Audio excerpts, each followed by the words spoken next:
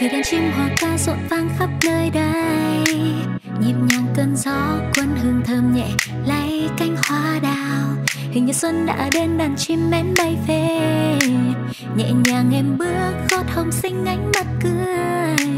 Dịu dàng xuân đến, khẽ bên đời rộn ràng